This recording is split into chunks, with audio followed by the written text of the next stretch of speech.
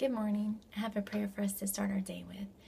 Dear God, you have shown us what is good in life, and you tell us what you require of us. So today, Father, I pray that you would help us to treat others justly and to love others faithfully.